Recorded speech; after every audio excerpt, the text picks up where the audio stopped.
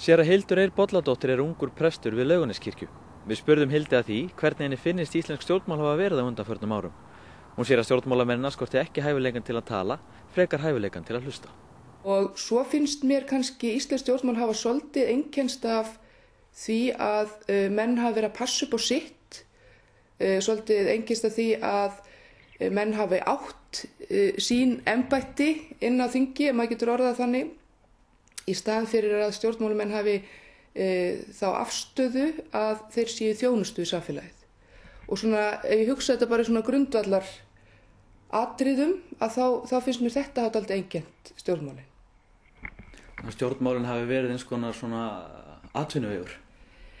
Já, það er kannski svolítið sko andrumsloftið í kringu stjórnmálinn hefur engjennst alltaf mikið af því að, að, að, að menn hafi verið huga að sínu og, og, og það hefur svona, sko maður er svolítið tekið eftir því ef að fólk hefur verið uh, hugsunafólk á þingi og það er alltaf alvarlegt vegna þess að það er akkurat þannig sem að fólk á að starfin á þingi og ég veit þetta er erfitt starf og, og það er heilmikil fórn held ég að að ganga inn í þetta starf og þess vegna uh, uh, ætti það að vera þannig að fólk, fólk færi í það af hugssjón og, og, og vegna þess að, að um, hlutveik stjórnmálumann er að byggja velferðarkerfi í hverju ríki sem þeir starfa í. Sko.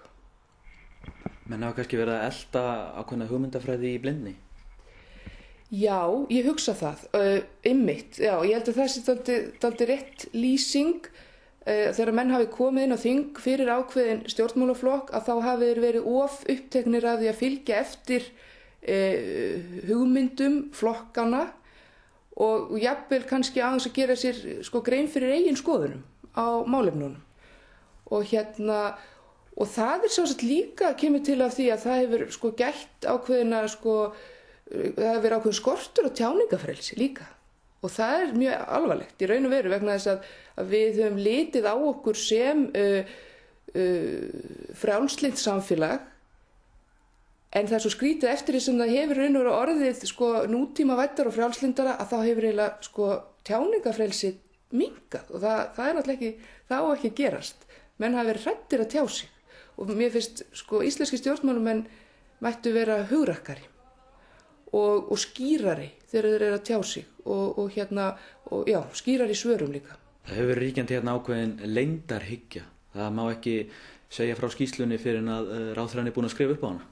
Nei, það, það er akkurat, það er akkurat þetta sem, að, sem ég er að, að tala um. Það er hérna, það er þessi, þessi ótti og það er sko hérna, sko að, og það, er, það kemur til að þessu, mennur hrættur um að missa þá stöðu sem þeir hafa. En við verðum alltaf að ganga inn í störfin okkar með það að leiðaljósa við eigum þau ekki heldur erum valin til þess að vinna þau öðrum í hag fyrst og fremst er að mæta þörfum náungar svo sérstaklega við erum í embætti. Embætti, orðið embætti kemur af, af uh, orðinu ambátt sem þýðir að þú ert þjóttn eða ambátt í þessu, þessu starfi þú átt ekki neitt heldur þú ert bara fyrst og fremst í, í þjónust En þetta sem þú nefnir, þetta er kannski ekki bara eh, stjórnmálamannunum að kenna líka þjóðinni, þetta hefur verið látið viðgangast. Já, já, það er, það er alveg rétt. Þjóðarmórallin hefur verið svolítið svona og, og auðvitað hefur þetta ekki bara verið svona inn á þingi, heldur á ymsum öðrum uh, sviðum þjóð, þjóðfélagsins og maður til dæmis tók eftir í svona stóru máli eins og umhverfismáli eins og, og káranhugavirkjun að, að þar var hérna, þar voru menn oft rættir um að, að rætti við að tjá sig og hérna og fólk jafnvel innan akademíunar sem á að hafa fullt frelsi til þess og, og, og það er einhver það er einhver stór hlut að þeirra starfi er að raun og geta sagt hlutin eins og eru. Þar gætti ákveðin skorts á tjáningar frelsi eða, eða vilja eða, eða hugur ekki til að tjá sig En er ekki alltaf skrítið að, að þjóð sem státa sig á því að vera vel mentuð skuli lenda í þessu? Kom mentunin ekki að meira gagni heldur en þetta? Jú, þetta er nefnilega umhugsunarvert. Og um, það leiðir eiginlega hugamanns að því hvort það geti verið að æðstu uh, mentastofnunum landsins uh, sé að útskrifa ofta á tíðum uh, ómentaða sérfræðinga. Og þá ég við fólk sem hefur mjög góða tæknilega þekking á sínu fæi en skorti gaggrinu hugsun. Og vegna þess að sko það að vera mentaður stýst í raun og ekki bara um það að kunna skil á sínu fæi heldur snýsta um það að þroska hugsun sína og, og, og kunna beita gaggrínni hugsun.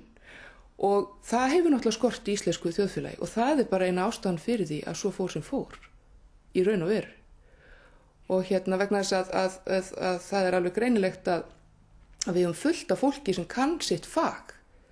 Við hefum fullt af hámentuðum, hámentuðum sérfræðingum innan, innan bankana en þar hefur skort ákveðina gaggrínu hugsunar. En nú eru kostningar í nánd og uh, þetta er eitthvað sem breytist ekki í kostningum.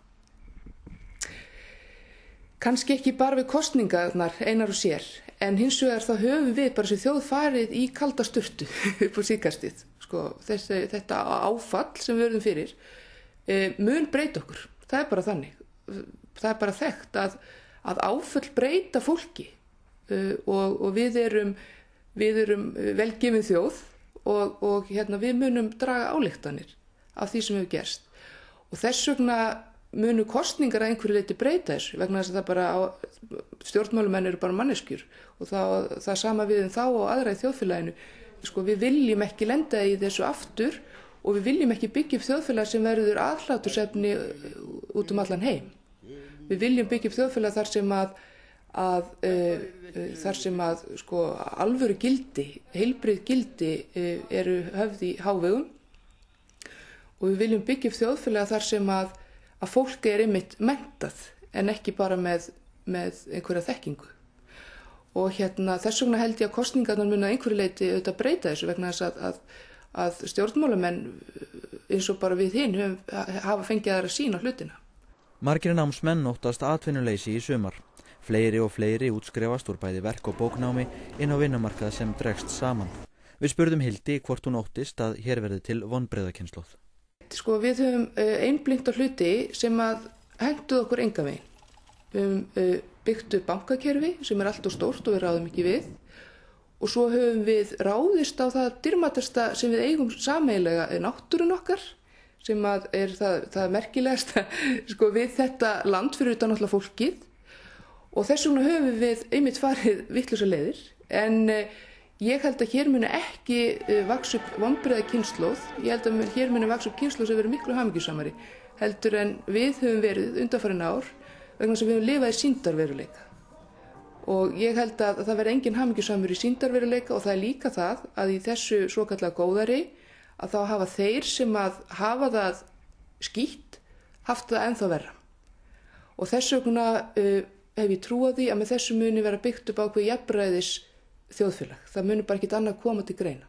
Sko auðvitað náttúrulega þjóðfélagi bara breytist sko við þetta allt saman. Það er bara okkur hlutir sem að verða ekki lengur í bóði eða málsins samkvæmt og aðri hlutir sem að verða kannski sínilegri en þeir hafa verið áður. Hlutir sem kosta ekki peninga en eru þegar að heildinu litið miklu dýrmætari.